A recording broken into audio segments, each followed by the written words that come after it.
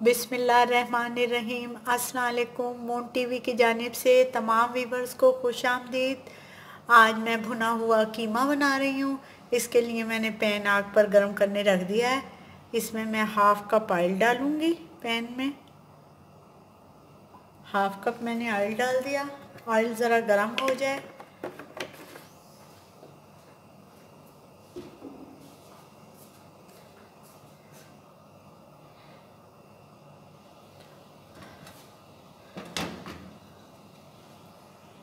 Oil अच्छा सा गर्म हो गया है। इसमें ये एक स्टिक दारचीनी की, एक तेज़ पत्ता दो बादियान के फूल, पाँच छः काली मिर्चें, पाँच छः लौंगे, एक बड़ी इलायची और एक टीस्पून सफ़ेद ज़ीरा, साबुत।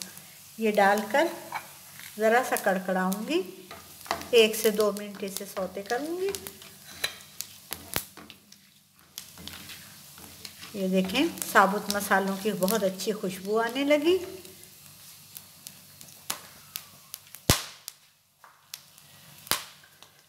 ये, अब 300 ग्राम मेरे पास कीमा है।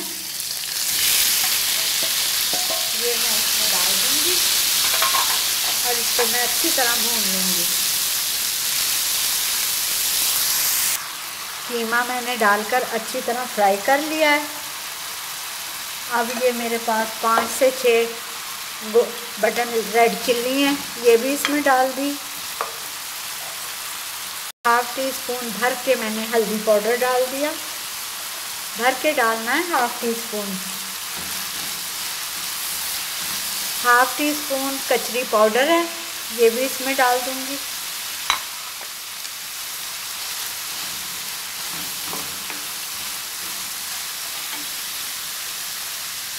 वन टीस्पून नमक है, ये भी इसमें डाल दिया।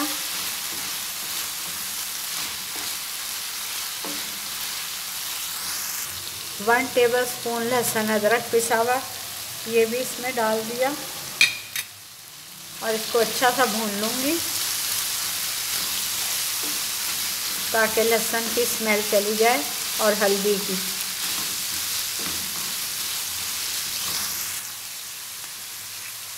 अब एक बड़े साइज़ का टमाटर है, जिसका छिलका उतार कर मैंने बारीक चॉप कर लिया था। ये टमाटर भी कीमे में चला गया।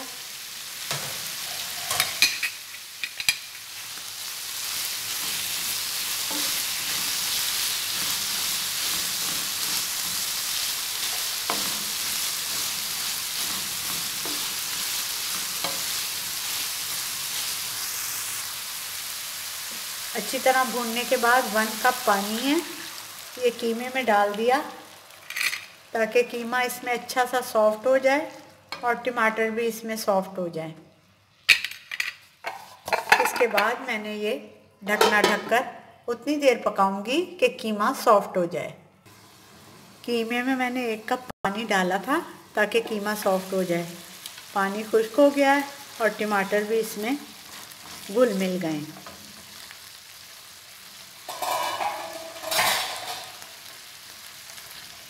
चार हरी मिर्ची जो मैंने बारीक चॉप कर ली हैं। वो कीमे में डाल दूँगी।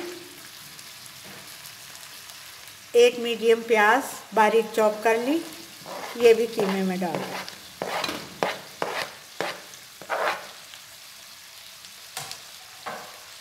इन दोनों चीज़ों को कीमे में डालकर कीमे को अच्छी तरह भून लूँगी। प्याज और हरी मिर्चें डालकर मैंने कीमे को अच्छी तरह फ्राई कर लिया है। और ये मज़ेदार सा भुना कीमा या फ्राई कीमा इसे कह लें, तैयार है।